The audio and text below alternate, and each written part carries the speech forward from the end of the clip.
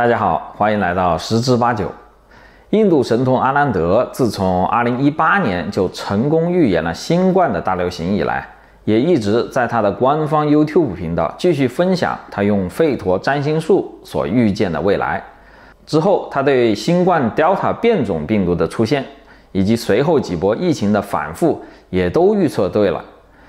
现在时间到了2022年6月份。那么今年前半年他的预言到底准不准呢？我们今天就来一项一项列出，最后算出阿南德今年上半年的预言准确率到底有百分之几。自从今年一月一号到现在，他的频道一共发布了二十部影片，其中一共有四部影片专注于预言。是的，他的 YouTube 频道其实并不只是讲预言的，也有其他类型的影片，包括占星术。梵文著作的介绍，以及他和家人的生活分享等等。我之前也有一期节目介绍了阿兰德的频道，大家感兴趣可以去看一看。按时间顺序，阿兰德今年第一期节目是一月一日上传的，题目是 Omicron 风险、好处和新冠的未来。其中他说到，所以首先让我解释一下，这是短期的危险。长期却是有益的。Omicron 作为变种带来危险，不仅因为它是变种，而且还有许多其他社会经济因素。目前与政府相关的因素，可能会在短期内对经济和人们的健康造成很多危险，但长期是有益的。所以在第一阶段，我们将看到2021年12月到2022年2月的快速蔓延和一些新问题。这些问题在过去已经预测到了。2022年3月到2022年4月，它将加剧并造成很多伤害，当然会有死亡，会有住院治疗，经济会遇到很多问题，还有更多很多看不见的和突然的事情也可能发生在这个时间段内。它将是非常独特且非常强大的。欧米克戎变种是危险的，当然是短期内的强烈的危险。欧米克戎同时将会是新冠疫情结束的开始，它将超过其他危险的变体，它将用更温和的感染取而代之。阿南德对欧米克戎的预测，首先在短期内是危险的，现在看起来非常准确。Omicron 由于比 Delta 变种更高的传播性，自从2021年11月在南非被发现以后，不到一个月的时间内就扩散到全球许多国家和地区，而且迅速成为主导毒株，以至于世界卫生组织称传播速度之快前所未见。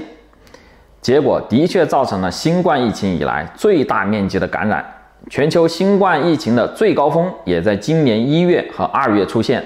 根据谷歌的统计数据，当时全球每日新感染人数达到了三百万。而阿南德说的第二点是，Omicron 也是新冠疫情结束的开始，至少现在看起来也是对的。因为在一月底感染人数啊达到高峰以后，之后的感染数量是呈下降趋势，一直降到了现在全球每日新增病例二十多万，回到了二零二零年九月的水平。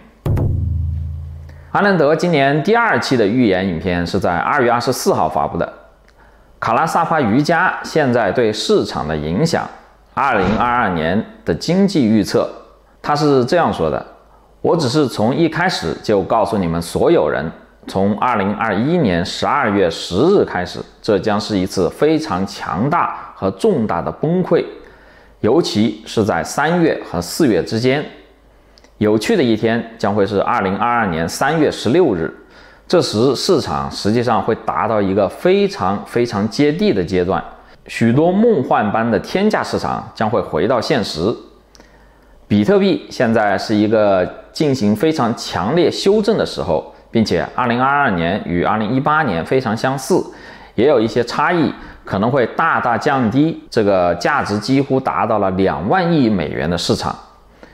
但正在寻找长期投资的人们，对于没有重大风险的黄金，请以目前的价格投资黄金。不管怎样，黄金将大幅上涨。我看到在四月十三日之后，实际上黄金和白银都将大幅上涨。乌克兰、俄罗斯还有很多问题，我在三月到四月之间谈到了地缘政治危机。对于大多数看过我频道的人来说，它已经非常接近了，和平谈判可能以惨败而告终。在三月和四月之间，事态会有很大的升级。这一期的四个主要预测：第一，经济市场回调。阿兰德预测在三月十六号会有经济市场的大回调。因为之前的经济繁荣都只是一个泡沫，所以在三月份会有一个重大修正，而实际情况呢却是这样的：三月十六日的美国股市和阿兰德在做预测的二月份的时候差不多，呃，都维持在三万多点。真正的一个下跌实际上是在五月二十号左右。美国的房地产行业的销售记录在三月份的时候也没有下跌。美国的零售业在三月份的时候也没有下跌，从二月份的二十三万三千零六十二美元还上升了一点点，到了三月份的二十三万三千四百四十八美元。失业率也从二月份的百分之三点八下降到了百分之三点六，和二零二零年四月的百分之十四点八的高失业率比也不算什么。根据这些数据来看。阿兰德预测的三月十六号经济市场大回调并没有发生。第二个预测，比特币的大修正，这一个他倒是说对了。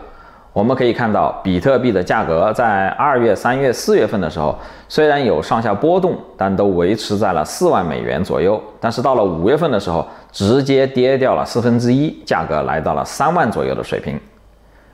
第三个预测。四月十三日之后，黄金、白银价格大幅上涨，而实际情况是，虽然从二月底开始到四月之间涨了那么一点，黄金的价格来到了六万两千美元的水平，但是并没有在四月十三日后大涨，而是在那一天以后啊，一直是呈下跌的趋势，现在跌到了五万美元的水平，而白银的价格也是呈现了类似的趋势。从四月十三日的八百二十五美元跌到了现在的七百美元左右，所以这个预测现阶段也不准。第四个预测，乌克兰俄罗斯的地缘政治危机加剧，这个是很准确的。和平谈判并没有成功，北约各国继续大力的支援乌克兰，俄罗斯也没有撤兵，战争在开始一百多天以后还在继续进行。之后，在三月五号的第三个视频中，阿兰德专门预测了俄乌战争的更多情况。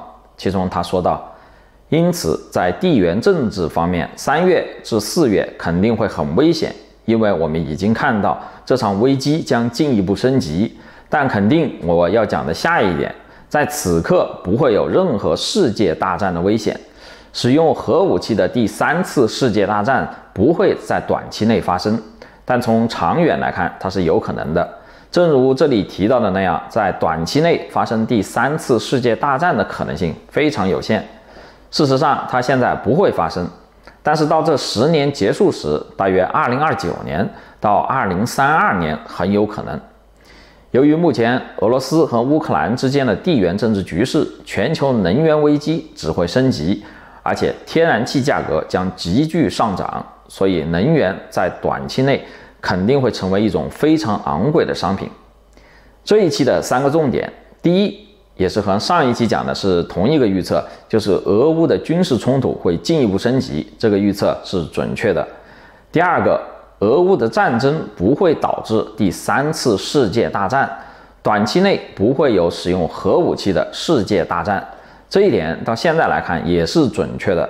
虽然北约盟国都在支援乌克兰，但是呢，都还没有投入实际兵力参战。俄罗斯也没有进攻除了乌克兰以外的国家，所以还算不上是世界大战。第三，他预测了能源危机，这一点被他准确的预测到了。现在每天上涨的油价已经直接影响了大家对汽车的使用，紧跟其后的就是物流运输费用的上涨，最终对物价和经济会造成严重的影响。第四个预言视频就是阿兰德在四月二十一日发布的，二零二二年四月二十八日以后可能会发生什么？其中他讲到，我也想纠正我之前对世界经济的预测，也重复和加强其中的一些观点。在二零二二年三月十六日以后开始，我们将进入一个一年半的周期，它将扭转之前的一年半的周期。所以之前的一年半都是关于泡沫的增加，接下来的一年半将是关于泡沫的缓慢下降或者更剧烈的下降。这就是我对全球形势的总体看法。世界将从地面以下的能源资源向地面以上的能源资源快速转变。它的速度比我们预期的要快。我认为全球能源危机在未来一年半内将进一步加剧，或至少保持在当前水平。但这为可再生能源提供了一个独特而强大的机会。可再生能源，整个可再生能源行业将大幅增长。我今天想讨论关于四月二十八日的其他部分。世界将出现一个非常重要的地缘政治危机。我们会看到世界的那个地方会出现一个严重的形势，我们也看到世界东北这个地方有问题。那个东北侧当然就是中国，也是中国那个地区。这一期里，他主要讲了三个点，都是对之后一年里的预测。阿兰德首先纠正了他之前对世界经济的预测。我们刚刚也讲了，他在二月份的时候对经济的预测其实是不准确的。所以阿兰德自己也做出了新的预测，他预测在之后的一年半的时间里，经济会慢慢或者剧烈的下降，但是总体是下降的。世界将从地面以下的能源，比如石油、天然气，向地面以上的能源，比如太阳能、风能等转变。第三个就是在中国地区会出现一个非常重要的地缘政治危机，具体是什么，他没有讲出来。但是至少现在中国地区还没有出现严重的地缘政治危机，这三个点都需要更多的时间才能看出他的预测对或者不对，所以呢就不考虑到今天的最后评分当中了。那么阿南德今年上半年的预言准确率总体怎么样呢？我们来算一下，欧米克的预测短期内是危险的，正确。欧米克这一波是新冠疫情结束的开始。正确，经济市场大回调不正确，比特币的大修正正确，黄金、白银价格大幅上涨不正确，俄乌冲突升级正确，俄乌的战争不会导致第三次世界大战正确，能源危机正确，所以八个预言里面被他说中了六个，也就是百分之七十五的准确率。作为预言，这已经是非常准确的了。其中的一些预言，现实情况也可能在今年下半年发生变化，比如说不定黄金和白银的价格会上涨等等。如果大家觉得今天的视频不错，别忘了点个赞，非常感谢你的支持。我们也会在年底的时候再做一次预言的年终总结。谢谢你的观看，我们下期再见。